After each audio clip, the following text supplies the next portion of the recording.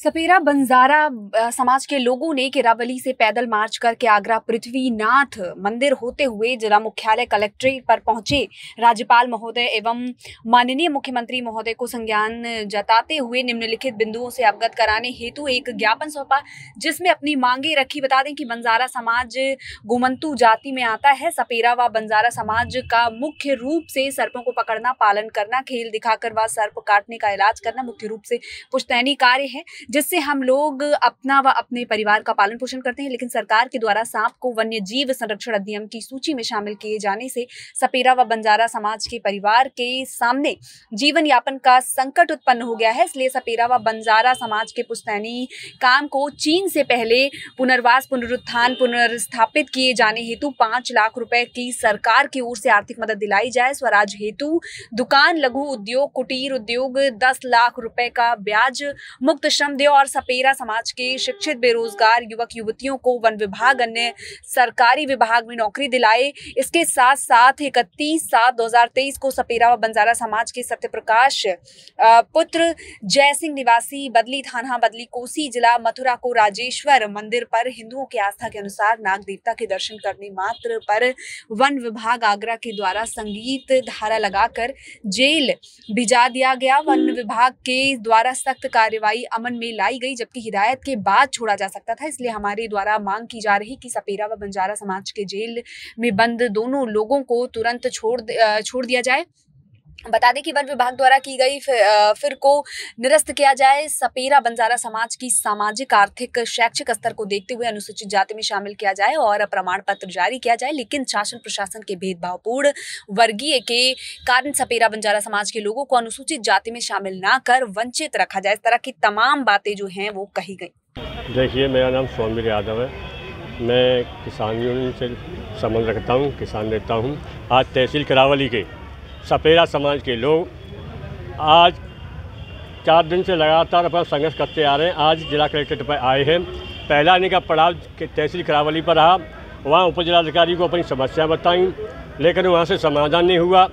तब ये तीन चार दिन से लगातार चल चल कर आज जिला कलेक्ट्रेट पर आए हैं। इनकी मुख्य समस्या है कि जिनका जो रोजी रोटी का धंधा था, सांपों के खेल दिखाकर उनकी रोजी रोटी चलती थी, इनका परिवार चलते थे।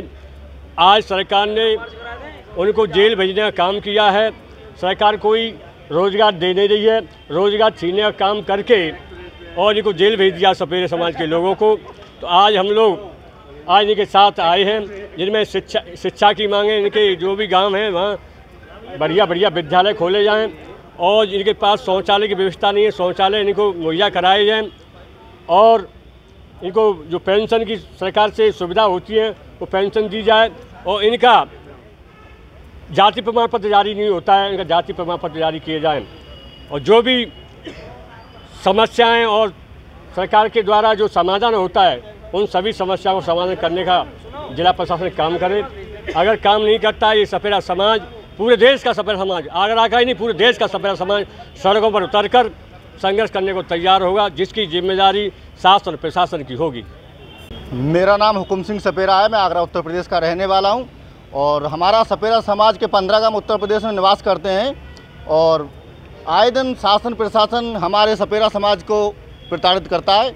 और प्रताड़ित करने का काम कर रहा है और इसके एवेज में हमारे दो सपेरा समाज के भाइयों को भी जेल में बंद किया है। और मैं शासन, प्रशासन से अब बोलना चाहता हूँ कि अब सपेरा समाज अब बहुत जागरूक हो चुका है। ये सपेरा समाज अब वो वाला सपेरा समाज नहीं रहा है, जो पिछले समय में चला आता था। अब लोग पढ़े लिखे भी हैं और हम इसके बाद में ये कहते हैं शासन से कि जब आप वन विभाग में अगर नौकरी लगाते हैं तो उनको ट्रेंड करते हैं। ट्रेंड करने के लिए लाखों रुपए खर्च करते हैं। ये लोग सब ट्रेंड है, हम लोग ट्रेंड है सरप पकड़ने के मामले में। तो हमको क्यों नौकरी नहीं देना चाहते सरकार? हम चाहते हैं कि हमें नौकरी मिलनी चाहिए और नहीं तो अगर नौकरी नहीं मिली तो हमारे सपेरा समाज के हर एक परिवार को इनको रोज़गार से जोड़ा जाए, रोज़गार से नहीं जोड़ती है सब ये सरकार। तो हम इसके खिलाफ अधिक अधिक संख्या में और आकर और हम पैदल यात्रा करेंगे और अनशन पर बैठेंगे। हाँ छोटे बच्चों को धरने पे है धूप पड़ रही है, इसका कारण इनके माँ बाप बच्चों के जेल में बंद किए, ये सपेरा समाज के बच्चे भूखे हैं, इनको खाना नहीं मिल रहा है कई दिनों से, जब से इनके पापा जेल में बंद है तब वो अपना काम करके तमाशा दिखा के लाते थे, रोजी रोटी करते थे, तभी वो खा पाते थे, नहीं तो ये भूख से मरे जा रहे हैं बच्चे।